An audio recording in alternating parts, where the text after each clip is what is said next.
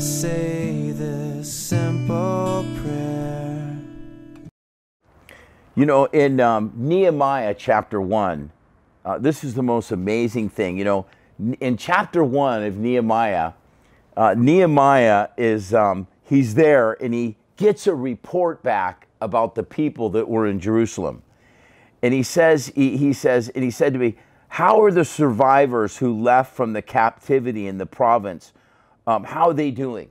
And Hanani, his brother, who just came back from uh, Jerusalem, he says, The people are in great distress. The walls are broken down and the gates are burned with fire. So in Nehemiah chapter 1, Nehemiah gets this report about his brethren that are in great distress. The walls are broken down, the gates are burned with fire. And I love this because immediately Nehemiah starts praying to, the God, to God. And in Nehemiah chapter 1, he says, I pray, Lord God of heaven, great and awesome God, you who keep your covenant and your mercy with those who love you and observe your commandments, please let your ear be attentive and your eyes open that you may hear the prayers of your servant, which I pray before you night and day. So if you read Nehemiah chapter 1, he's crying out to the Lord. He's saying, Oh Lord, great and awesome God. And and then he starts, you know, he's confessing the sins. He says, We blew it, but you're awesome and you're God. And then he starts remind, reminding them of his word. He says, Lord, you said in your word that if we came back to you, that you would restore us and heal us. So in Nehemiah chapter 1, he's just this amazing prayer of this broken man who gets a report about God's people. And he just, it's just so amazing that the whole thing, Nehemiah chapter 1, is just this amazing prayer. Okay?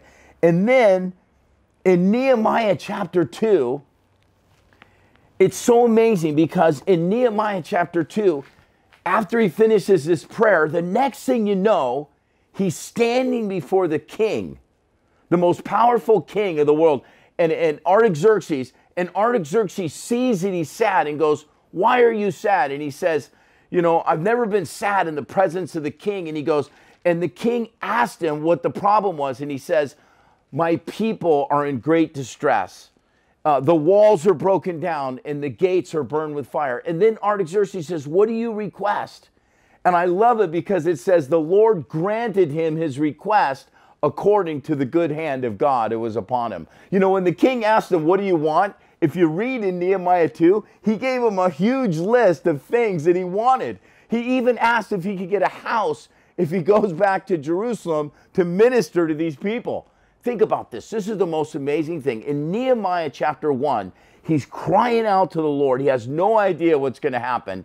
And in Nehemiah chapter 2, Artaxerxes gives a command for Nehemiah to go back and to restore and rebuild Jerusalem. You know, this is also an amazing thing because in Daniel chapter 9, there was a prophecy.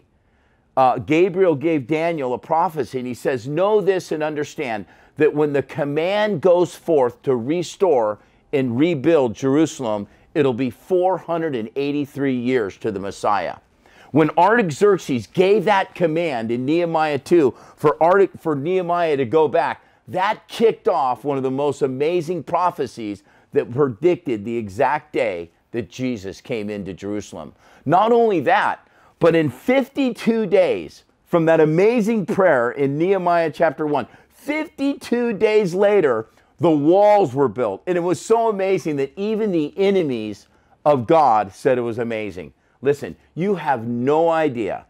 If you're you have no idea what can happen when you call upon the Lord in your day of trouble because he says I'll answer you and show you great and awesome things. Hey, men ought to always pray and not lose heart. Seek the Lord while he may be found. You don't know what can happen. Listen, in the Bible, the word hope, it means the absolute expectation that something great is going to happen. So call upon the Lord and expect this great and awesome God to do something in your life. And I pray God blesses you. In Jesus' name, amen. Fill me up. I'm empty without you